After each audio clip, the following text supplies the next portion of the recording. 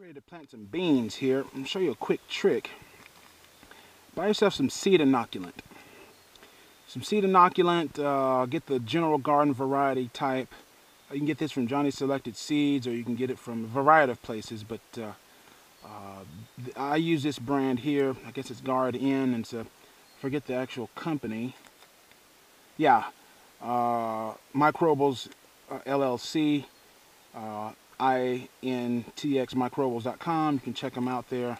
You can get them from this little pack of seeds here is way more than I need. Should have brought my scissors out here, but uh, uh, the idea is that um, is that these microbes in, uh, live along the root system of the plants of the of your beans. That's about all we'll need. And put these guys back in the refrigerator try to keep them out of the direct sun right now. And I put them in a little bit of water, like so. And put, uh, I typically will put a little bit of um,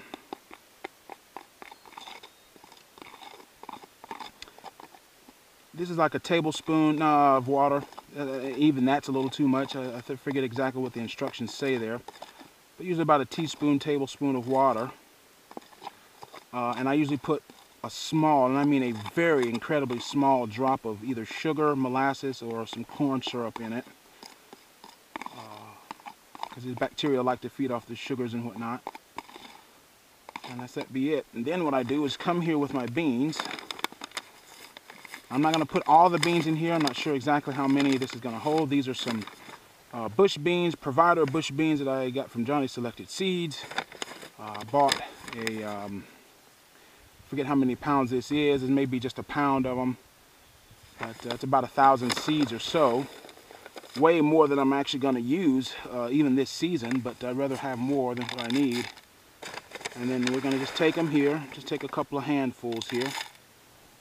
And you just uh, spoon them around in there.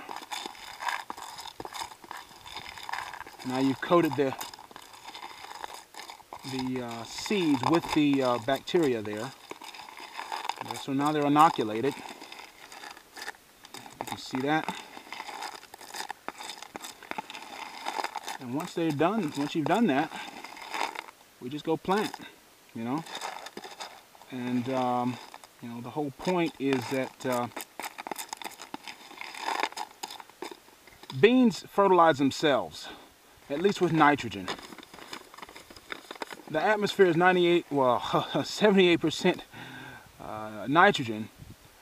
Most of the stuff we, that you see around here is nitrogen. That's why this grass here is green, nitrogen. Normally you'd have to put nitrogen in there, and you notice you talk in my uh, organic gardening, organic uh, fertilizer videos and stuff that you've seen, many of you've downloaded before, I talk about cottonseed meal as a source of nitrogen. Well, beans provide their own nitrogen. They suck the oxygen air out of the, uh, they suck the nitrogen out of the air, store it in the roots underground, and uses it to help uh, themselves grow and produce.